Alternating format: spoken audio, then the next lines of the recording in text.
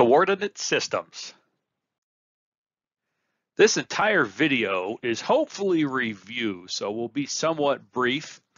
We will talk about the coordinate systems and the unit vectors that we'll utilize in each of the coordinate systems. And then we'll briefly summarize how to convert between the different coordinate systems. Coordinate systems and unit vectors. Cartesian coordinates.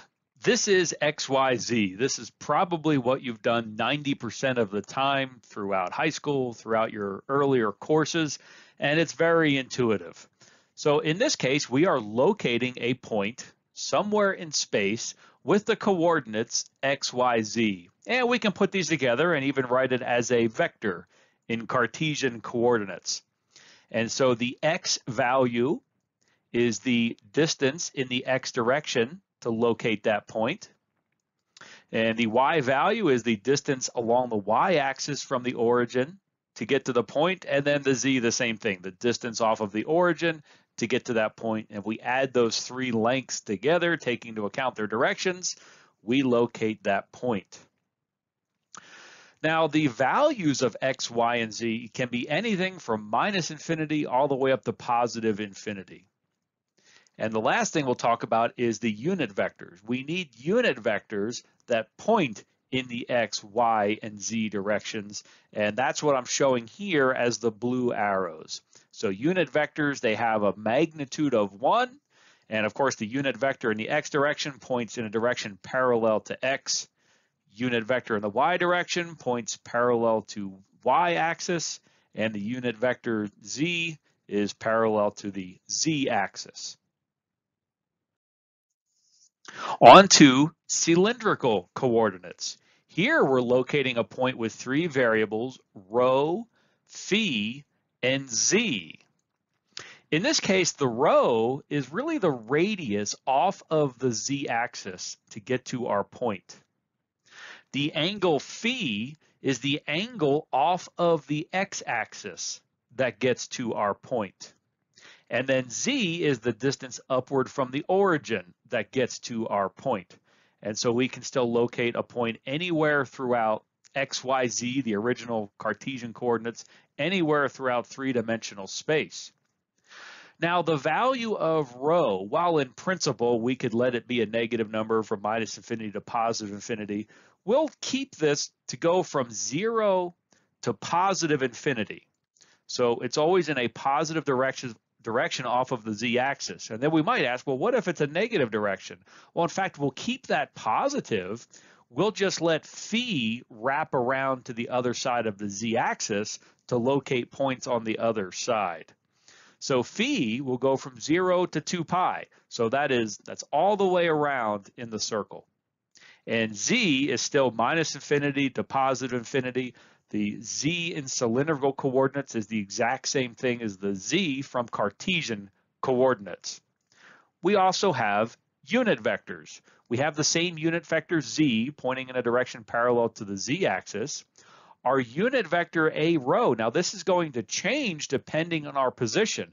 It's always pointing outward from the z-axis. And then we have our unit vector a phi, this also changes with position and it's pointing tangential to this curve that's located at a distance rho out from the z-axis and at this angle phi. So it's in a direction tangential to that. So as we move our point, our a rho and a phi unit vectors actually change direction. The last coordinate system that we will discuss is spherical coordinates.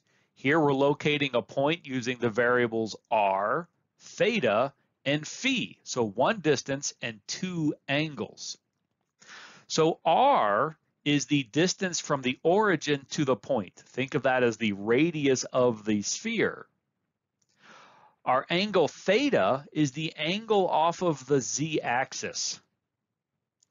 And then our angle phi is the same phi that we'll use in cylindrical coordinates. It's the angle off of the x-axis to locate our point. So we can locate a vector point with r, theta, and phi in spherical coordinates. let's think about the values. Our radius is going from zero to infinity, and we might think, well, why not negative numbers here? Well, the radius will always be a positive number, and if we need a radius in the other direction, we'll do that with the angle theta off of the z-axis, and we'll come down and get to what is essentially negative values of r. The angle theta will limit from zero to pi. So theta will only go from the positive z-axis down to the negative z-axis. It's not going to wrap around behind. And we might think, well, what if we need angles of theta over there? We'll get to those with angles of phi because phi is going to go from zero all the way to 2 pi. This phi, just like cylindrical coordinates, will go all the way around. So we can access the other side of our coordinates through phi. So by convention, we're limiting the values of these variables this way. We can also talk about our unit vectors. Here, the directions of all three unit vectors change depending on the location of our point. The unit vector in the direction of r is always outward from the origin. So it's along this line connecting the origin to our point and pointing outward. Our unit vector theta is in a direction tangential to this curve here that is, extends from the z-axis down to the xy plane, passing through the point. And it's in the same direction that's positive for theta, and that's down from the positive z-axis. And then our A phi, this is the same A phi that we talked about in cylindrical coordinates. So it is the its positive direction is also the same positive direction. Phi is increasing, rotating from the x-axis to the y-axis. So the positive direction for the position of this point is left to right. Conversion between the coordinate systems. There's really two things that we could be converting. We can convert a coordinate or we can convert a vector. And here I'm showing the conversion back and forth between Cartesian and cylindrical coordinates. So if we have a point in Cartesian coordinates and want to calculate the coordinates in cylindrical coordinates, that is this top left set of equations. So this rho, this is the radius off of the z-axis, is simply square root of x squared plus y squared.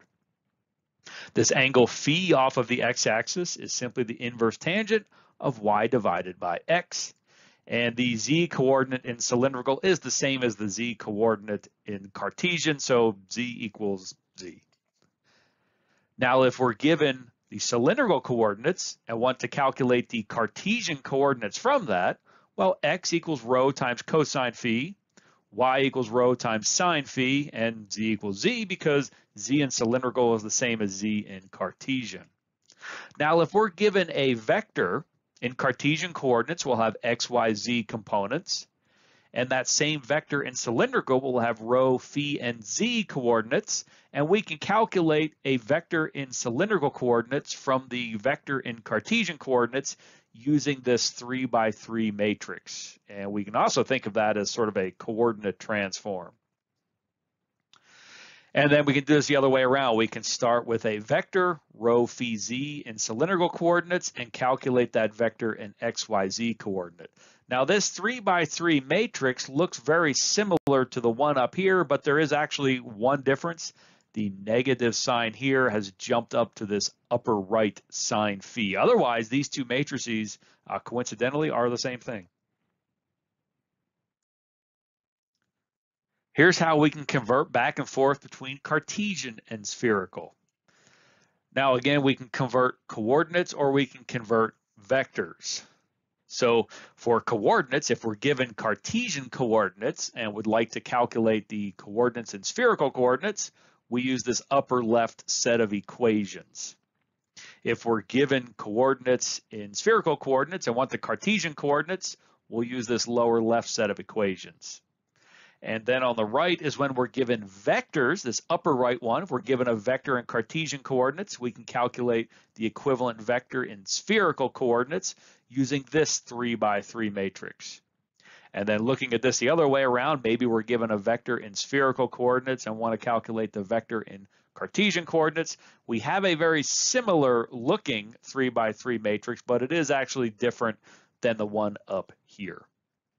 Now we might ask, what if we're converting between cylindrical and spherical?